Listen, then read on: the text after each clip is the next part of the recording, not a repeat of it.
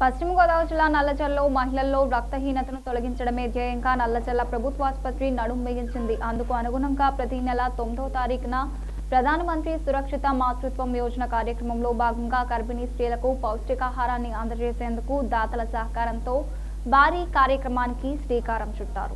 ఈ కార్యక్రమంలో జెడ్పీటీసీ అనంతలక్ష్మి మాట్లాడుతూ గర్భిణీ స్త్రీలకు ఆహార విషయంలో ప్రత్యేక శ్రద్ధ తీసుకోవాలని సూచించారు. ఈ కార్యక్రమంలో ఎంపీపీ జమ్మలు సతీష్ కుమార్ మాట్లాడుతూ మనం తీసుకునే ఆహారంలో శక్తి లోపిస్తోందని అందుకు కావలసిన శక్తి కొరకు ఆసుపత్రిలో అందించే అవసరాల క్రమం తప్పకుండా తీసుకోవాలన్నారు.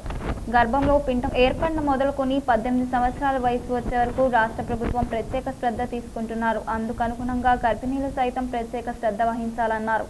ఈ కార్యక్రమంలో ఆమెన్ ప్లస్ వారు ఉచితంగా మందులు పంపిణీ చేశారు. ఆసుపత్రి వైద్యులు doctor Sudheer Kumar doctor S A Rani ఆసుపత్రి community health officer Ramakrishna Prasad వారి సిబ్బంది పాల్గొన్నారు. ఈ కార్యక్రమంలో పోషకాహార ప్రత్యేక కార్యక్రమంలో భాగంగా వైద్య శిబిరంలో దాతలు అందించిన పౌష్టికాహారం సామాగ్రి కిట్లను గర్భిణీలకు అందించారు. రాగిపిండి వేరుశనగాచులు ఖర్జూరం ప్యాకెట్లు దానిమ్మ కమల మామిడి పండ్లు మల్టీవిటమిన్ యాపిళ్ళు అందజేశారు. ఈ కార్యక్రమంలో ఇన్ అశోక్ సర్పంచ్ వెలకమాటి శ్రీనివాసరావు ఆసుపత్రి సిబ్బంది అంగన్వాడీ ఆశా వర్కర్లు వారి సేవలు అందించారు.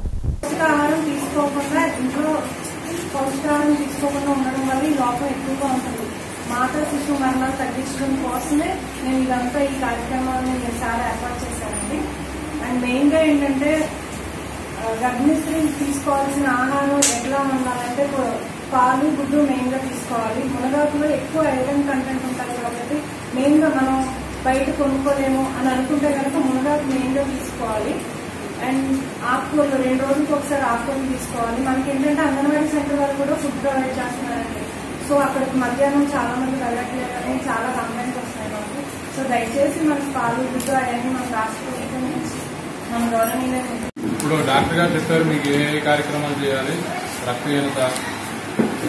ఈ మండలంలో మన ప్రభుత్వం గారు చంద్రబాబు నాయుడు కానీ చైర్మన్ గారు కానీ ఎవరికి ఏ లోపం ఉండకూడదు. మాతా శిశు మండలం అనేది జరగకూడదు అని ఎన్నో ప్రోగ్రాం చేయడం జరుగుతుంది. మరి చైర్మన్ గారు అయితే మన రమణ గారు కానీ చైర్మన్ గారు కానీ సర్పంచ్ గారు కానీ ఇక్కడ ఈ మండలంలో ఏ కార్యక్రమానికి ఏది కావాలో అది ఇవ్వటం జరుగుతుంది. మీకు అన్ని రకాలుగా టెస్టులు కానీ అన్ని చేయడం జరుగుతుంది కానీ మీరు ఈ ట్యాబ్లెట్స్ పట్టుకెళ్ళి నూటికి ఒక యాభై శాతం వాడు. వాడుతున్నారు మందులో? ఉండాలి శుభప్రసం కావాలనే దృష్టిలో ఈ ఐటమ్స్ మనం ఇవ్వడం జరిగింది. మీరు రోజు తినే ఐటమ్సే కానీ మనం టైంలీ రోజు ఇవి వాడితే మీకు రక్తహీనత అనేది డాక్టర్ చెప్పారు కదా తగ్గుతుంది. పదకొండు గ్రాముల కన్నా తక్కువగా ఉంటే డెలివరీ కష్టం. మనకి చాలా వరకు ఎనిమిది తొమ్మిది ఇలా తగ్గిపోతున్నాయి అన్నమాట గ్రామ్స్.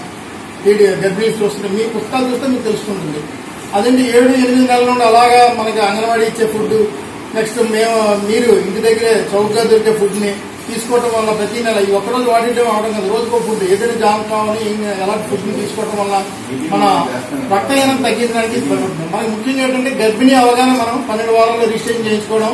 ప్రతి నెల మన ఆసుపత్రి ద్వారా మన ఏంటంటే కానీ ఆశా వర్కర్స్ ఉన్నారు అంగన్వాడీస్ ఉన్నాయి ఇన్ని మన సదుపాయాలు ఉన్నాయి గ్రామ స్థాయిలో. అవి మీరు కరెక్ట్గా ఉపయోగించి మనం ఏంటంటే ఒక ఒకసారి చూపించేస్తాం కాదు ఏదో బెనిఫిట్ వస్తుందని. గవర్నమెంట్ ఇస్తుంది. మిగతాదంతా ఆ ప్రైవేటైజేషన్కి వెళ్ళిపోతున్నారు. మీరు ఎంతసేపు ఎంత పిలిచినా ఇప్పుడు వన్ నాట్ ఫోర్ వెహికల్స్ వస్తున్నాయి? చంద్రన్న సంచార చికిత్స వాహనాలు వస్తున్నాయి.